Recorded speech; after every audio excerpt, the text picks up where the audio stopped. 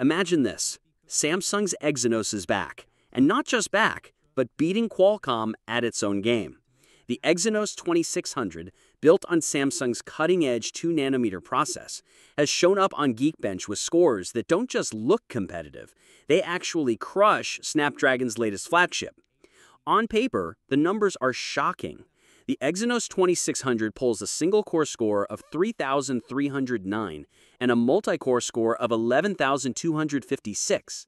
For comparison, the Snapdragon 8 Elite inside the Galaxy S25 hits 2,865 in single-core and 9,487 in multi-core. That's a pretty sizable gap, one that for once doesn't put Exynos in the underdog seat.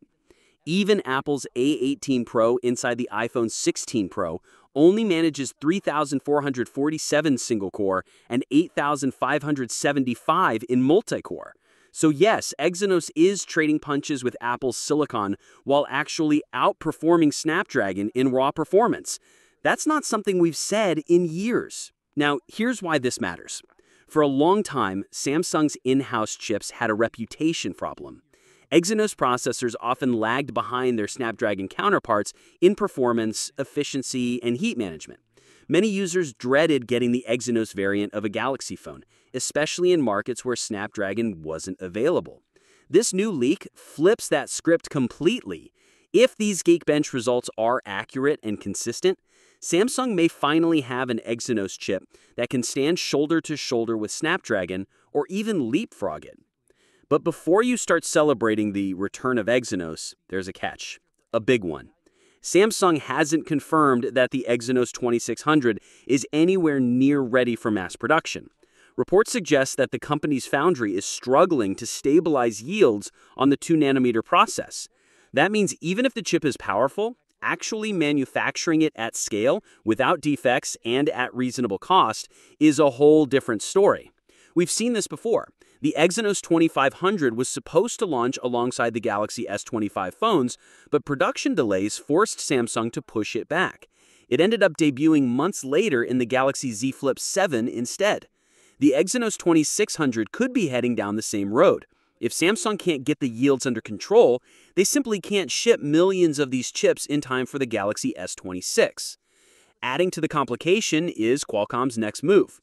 The Snapdragon 8 Elite Gen 2, which is expected to power the Galaxy S26 series, has already been tested and reportedly finalized for production. That means Samsung is leaning on Qualcomm again, at least for its upcoming flagship phones. Even if the Exynos 2600 is ready in small quantities, it's unlikely Samsung would risk making it the primary chip in such a high-stakes launch.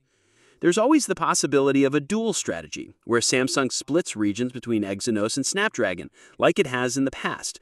But here's the problem.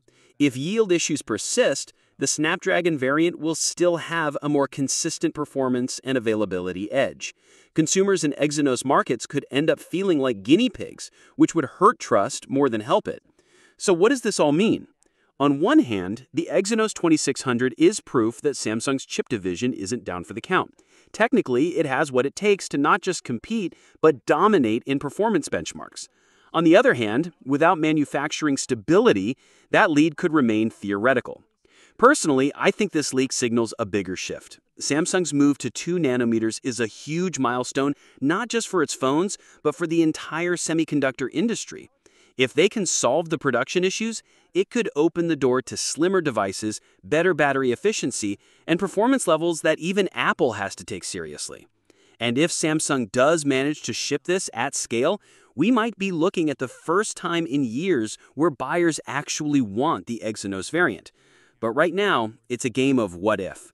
Qualcomm still has the safer, more reliable option ready for the Galaxy S26, Apple still dominates single-core performance with the A18 Pro, and Samsung, despite having a beast of a chip on paper, has to prove it can turn those benchmark numbers into real-world devices you can actually buy. The takeaway? Exynos isn't dead, far from it. The 2600 shows that Samsung has the engineering chops to push past Snapdragon and even challenge Apple. The question is whether it can move beyond impressive test results and deliver at scale. Until then, the Snapdragon-powered S26 phones are likely going to be the real-world winners, while the Exynos 2600 remains more of a promise than a product. Would you trust Samsung to deliver with Exynos again, or is Snapdragon still the safer bet? What's your thoughts on this? Let me know in the comments section. See you in the next video. Take care.